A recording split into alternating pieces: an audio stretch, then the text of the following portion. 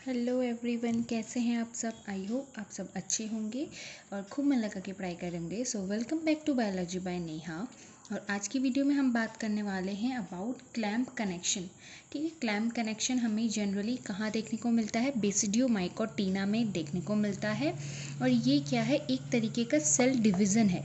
ठीक है it is a type of a cell division in basidiomycotina basidiomycotina में हमें ये देखने को मिलेगा और इसमें क्या होता है? सेल का डिवीज़न होता है। ठीक है तो स्टार्ट करते हैं वीडियो को।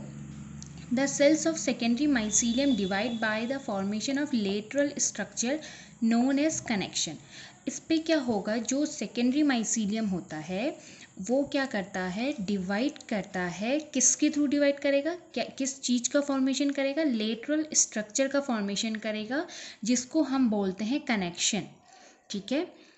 उसके थ्रू ये क्या करेगा? अप अपने, अपना जो न्यूक्लियस है, उसको डिवाइड करेगा। The cell division is usually confined to the terminal cell जो सेल डिवीज़न होता है, वो हमेशा कहाँ पे होगा? जो टर्मिनल सेल है, उसी के थ्रू होगा, ठीक है? जो सेकेंडरी माइसीलियम का जो टर्मिनल सेल है, उसी पे ही क्या होगा? सेल डिवीज़न होगा या फिर हमें क्लैम्प कनेक्शन वहाँ पे देखने को मिलेगा। तो ये बहुत इंपॉर्टेंट पॉइंट है कि कौन सी सेल होती है जहाँ पे से सेल डिवीज़न या फिर क्लैम्प कनेक्शन हमें देखने को मिलता है। तो it is the terminal cell ठीक है? जो फिगर ए आप देख सकते हैं, ये वाला फिगर तो इस पे क्या होगा? जो भी टर्मिनल सेल है, ये मैंने टर्मिनल सेल बनाई हुई है हाइफी की, इसके नीचे दूसरी सेल्स होंगी। तो टर्मिनल सेल्स में ही क्या होगा? हमें कनेक्शन और we can see clamp connection देखने को मिलेगा। सेकेंडरी माइसीलियम हम बोल रहे बोल रहे हैं। सेकेंडरी माइसीलियम मतलब वहाँ पे क्या होगा? वो क्या होगा? डिप्लॉयड होगा। वहाँ पे हमें डाई कैरियोफेस देखने को मिलेगी। ठीक है? At the time of division A short pouch like backwardly directed lateral outgrowth arise from the cell. अब जब सेल डिवीज़न होगा डिवीज़न कौन सा? माइटोटिक डिवीज़न ठीक है? जब सेल का डिवीज़न होगा डिवीज़न के टाइम पे हमें एक पाउच लाइक स्ट्रक्चर दिखेगा, जो कहाँ को डायरेक्टेड होगा? बैकवर्डली पीछे की तरफ़ को डायरेक्टेड होगा और एक आउटग्रोथ बनाएगा, ठीक है? उसको हम यहाँ, इससे इस फिगर से देख सकते हैं कि जो सेल का जब डिवीज़न होगा, उस टाइम पे वो क्या करेगा? एक शॉर्ट पाउच लाइक स्ट्रक्चर बनाएगा ये, ठीक है? और ये पाउच लाइक स्ट्रक्चर कहाँ को मूव करेगा? टूवर्ड बैकवर्ड, पीछे की तरफ़ को वो क्या करेगा? ग्रो करेगा और वी कैन से इसको हम एक पाउच लाइक आउटग्रोथ भी कह सकते हैं, ठीक है? तो ये क्या है? धीरे धीरे हमारा क्या बन रहा है? कनेक्शन बन रहा है, क्लैम्प कनेक्शन हमारा क्या है? बन रहा है और धीरे धीरे क्या होगा? न्यूक्लियस में भी डिवीज़न होने लगेगा। कौन सा डिवीज़न? वो आप लोगों को याद रखना है माइटोटिक डिवीज़न ठीक है? This outgrowth is known as clamp connection और सिंपली क्लैम्प ये आउटग्रोथ को हम क्या बोलेंगे? इस आउटग्रोथ को हम क्या बोलेंगे? सिंपली क्लैम्प बोलेंगे या फिर क्लैम्प कनेक्शन बोलेंगे। ये आउटग्रोथ आप लोगों को दिख रही है, ये आउटग्रोथ आप लोगों को दिख रही है तो ये क्या है? सिंपली क्लैम्प कनेक्शन है। ठीक है? Out of the two nuclei A and B of a dikaryotic cell, one migrate into the clamp whereas the other remain within the cell.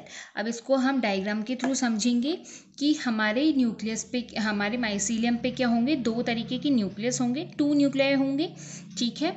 A and B ठीक है? फॉर एग्ज़ाम्पल ए हम इसको मान लेते हैं बी हम इसको मान लेते हैं। ये क्या है? एक डाइकैरियोटिक सेल है। ठीक है, इसमें दो तरीके के न्यूक्लियस प्रेजेंट हैं, इसलिए हम इसको क्या बोले डायकैरियोटिक सेल।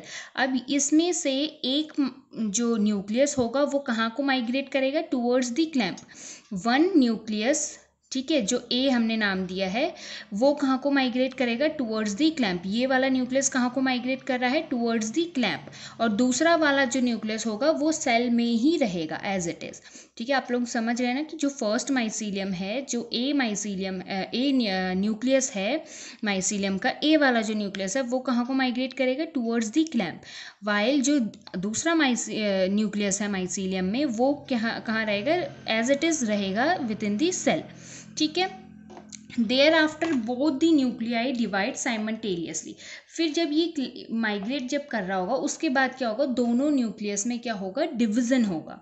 ठीक है? साइमल्टेनियसली वो डिवाइड करेंगे और फिर किसमें कन्वर्ट हो जाएँगे? दो डॉटर न्यूक्लियाई में कन्वर्ट हो जाएँगे।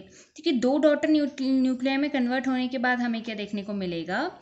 देखो, out of the two daughter nuclei formed by the division of the nucleus A present in the clamp one migrate to the terminal cell and other remain within the clamp अब हम देख सकते हैं कि हमने देखा कि उसका जो माइसीलियम में जो न्यूक्लियस है, उनमें क्या हुआ? डिवीज़न हुआ। ठीक है? अब जब डिवीज़न हुआ तो एक न्यूक्लियस कहाँ माइग्रेट कर गया? क्लैम्प की तरफ़ को माइग्रेट कर गया और एक न्यूक्लियस कहाँ रहा? सेल में ही रहा। ठीक है? सेल क्लैम्प में कौन सा न्यूक्लियस माइग्रेट कर था? ये वाला। ठीक है? ब्लैक वाला। ए वाला न्यूक्लियस माइग्रेट कर रहा था। बट हमने देखा जब इसमें डिवीज़न हुआ तो दोनों न्यूक्लियस क्लैंप में एंटर नहीं किए। क्लैंप में कौन एंटर किया? सिर्फ़ एक न्यूक्लियस क्लैंप में एंटर किया। बाकी जो दूसरा रिमेनिंग था, वो कहाँ रहा? सेल में ही रहा। ठीक है? और इसको तो सेल ही में रहना था। तो इसने जब डिवीज़न किया तो एक सेल यहाँ, एक न्यूक्लियस जो दो न्यूक्लियाई बने, वो सेल में ही रहे। बट ये वाला जो माइग्रेट करा था क्लैंप में, उसमें जब डिवीज़न हुआ तो उसका भी सिर्फ़ एक ही न्यूक्लियस एंटर करा कहाँ पे? क्लैंप में। ठीक है? उसके बाद क्या बन जाएगा यहाँ पे क्लैंप में जब वो एंटर कर जाएगा, उसके बाद यहाँ पे किसका डेवलपमेंट होने लगेगा? सेप्टा का डेवलपमेंट होने लगेगा। ये। ये क्या है? सेप्टा का फॉर्मेशन होने लगा। ताकि सेप्टा का डेवलपमेंट इसलिए हुआ कि ये वाला जो न्यूक्लियस है, वो भी यहाँ पे एंटर ना कर सके। यहाँ पे सिर्फ़ एक ही न्यूक्लियस का एंटरिंग एंट्रेंस हो सके। इसलिए वहाँ पे फिर क्या डेवलपमेंट हो गया? सेप्टा का डेवलपमेंट हो गया। ठीक है? Thereafter two septa are laid down in such a way that one septum separate the clamp and the other develop just above the level of the clamp फिर उसके बाद क्या हुआ? सेप्टा का डेवलपमेंट यहाँ पे भी होने लगा। जिसकी वजह से क्या हुआ, ये क्लैम्प और ये वाली सेल्स क्या हो गई सेपरेट हो गई। ठीक है सेप्टा का डेवलपमेंट हमें यहाँ पे भी देखने को मिला क्लैम्प में और क्लैम्प के नीचे जस्ट जहाँ पे क्लैम्प बन रहा है, वहाँ पे भी हमें देखने को मिला सेप्टा का डेवलपमेंट ताकि जो न्यूक्लियस है, वो कहाँ पे एंटर करे जो नीचे वाली सेल है, वहाँ पे एंटर करे। वापस से इसमें ना जाए, इसलिए यहाँ पे भी क्या हो गया, ये सेप्टा का डेवलपमेंट हो गया, ये वाला सेप्टर का डेवलपमेंट ठीक है? फिर लास्ट में हमें क्या देखने को मिलेगा? This result in the formation of three cells इसके बाद हमें क्या लास्ट में मिलेगा? तीन सेल देखने को मिलेगी। एक देखने को मिलेगी टर्मिनल डाइकेरियोटिक सेल फिर मिलेगा सब टर्मिनल यूनी न्यूक्लिएट सेल और मिलेगा यूनी न्यूक्लिएट क्लैंप सेल इसको हम डायग्राम में देख लेते हैं कि हमें लास्ट में क्या देखने को मिलेगा। लास्ट में हमें देखने को मिलेगा टर्मिनल डाइकैरियोटिक सेल सब टर्मिनल यूनी न्यूक्लिएट सेल और यूनी न्यूक्लिएट क्लैंप सेल यहाँ पे देखते हैं हम, ये क्या है? टर्मिनल डाइकैरियोटिक सेल है। ये वाली क्या है? टर्मिनल टर्मिनल डाइकैरियोटिक सेल है, ठीक है? यहाँ पे हमें दो तरीके के न्यूक्लियस दिख रहे हैं डाइकैरियोटिक सेल है। फिर हमें क्या देखने को मिलेगा? एक हमें ये सेल देखने को मिलेगी, दूसरा हमें क्या देखने को मिलेगा? सब टर्मिनल यूनी न्यूक्लियट सेल, ये वाली सेल। ये क्या हो गई हमारी? सब टर्मिनल हो गई और यूनी न्यूक्लियट यहाँ पे सिर्फ़ एक ही न्यूक्लियस प्रेजेंट है। फिर हमें क्या देखने को मिलेगा? यूनी न्यूक्लियट क्लैम्प सेल, ये वाली सेल। ये क्या है? यूनी न्यूक्लियट क्लैंप सेल है, ठीक है? ये यूनी न्यूक्लिएटेड है और ये क्या है? क्लैम्प सेल है। समझ में आ गया क्लियर कि हमें तीन सेल्स का फॉर्मेशन देखने को मिलेगा। सबसे पहला जो टर्मिनल सेल है, वो डाइकैरियोटिक होगी, ठीक है? फिर सब टर्मिनल सेल जो होगी, यानी कि टर्मिनल से जस्ट नीचे वाली जो सेल होगी, वो यूनी न्यूक्लिएटेड होगी और जो क्लैम्प सेल होगी, वो भी क्या होगी? यूनी न्यूक्लिएट होगी, ठीक है? The the wall between the clamp and the subterminal cell dissolve and the nucleus from the clamp migrate into this cell. उसके बाद क्या होगा? जो सब टर्मिनल सेल और क्लैम्प के बीच की जो वॉल थी, वो क्या हो जाएगी? डिजॉल्व हो जाएगी और न्यूक्लियस क्या कर जाएगा? क्लैम्प से माइग्रेट कर जाएगा सेल में। ये, यहाँ पे ये वॉल क्या हो जाएगी? ये वाली वॉल डिजॉल्व हो जाएगी और ये वाला न्यूक्लियस जो होगा क्लैम्प का जो न्यूक्लियस था, वो कहाँ माइग्रेट कर जाएगा? इस सब टर्मिनल सेल पे वो क्या कर जाएगा? माइग्रेट कर जाएगा। ये वाला। ये न्यूक्लियस क्या कर जाएगा? माइग्रेट कर जाएगा। यहाँ पे जो वॉल थी, वो डिजॉल्व होगी और ये वाला न्यूक्लियस जो क्लैम्प सेल में था, वो सब टर्मिनल सेल में आ जाएगा। ये वाला स्ट्रक्चर आप देख सकते हैं।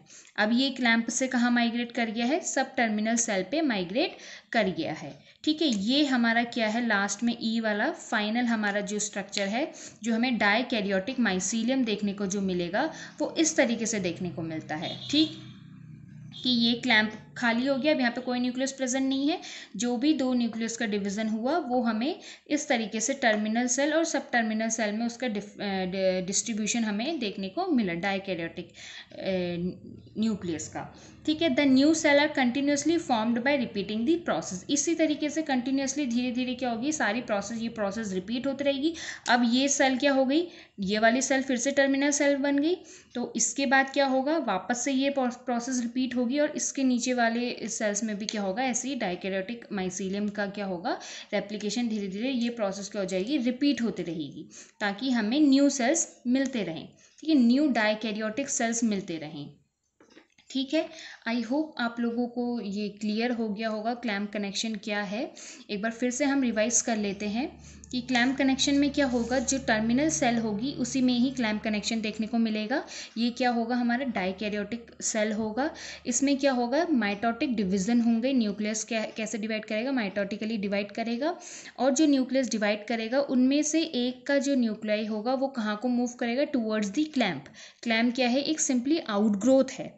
ठीक है, इसका एक न्यूक्लियस कहाँ को माइग्रेट करेगा? क्लैम्प की तरफ़ को माइग्रेट करेगा और जैसे ही एक न्यूक्लियस क्लैम्प की तरफ़ को माइग्रेट करेगा, वहाँ पे किसका डेवलपमेंट हो जाएगा?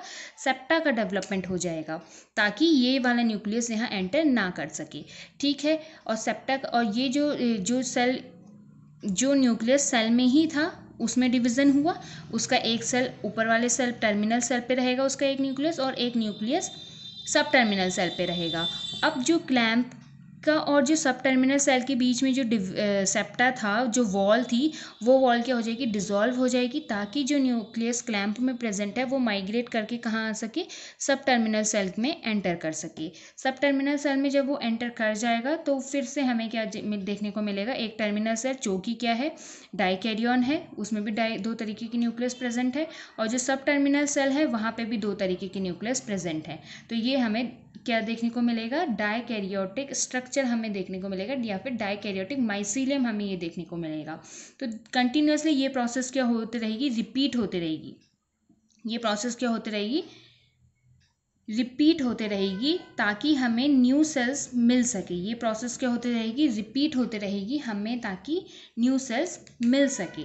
ठीक है? आई होप आप लोगों को मेरी वीडियो पसंद आई होगी और डेफिनेटली मेरी वीडियो से कुछ ना कुछ आप लोग गेन करके गए होंगे। अगर आप लोगों को मेरी वीडियो अच्छी लगी तो प्लीज़ मेरी वीडियो को लाइक कीजिए शेयर कीजिए, अपने फ्रेंड्स के साथ कमेंट कीजिए नीचे और सब्सक्राइब कीजिए मेरे चैनल को और साइड में जो बेल आइकन है उसको भी प्रेस कीजिए ताकि मैं जब भी अपनी नई वीडियो डालूँ, आप लोगों को उसके नोटिफिकेशन मिल जाए।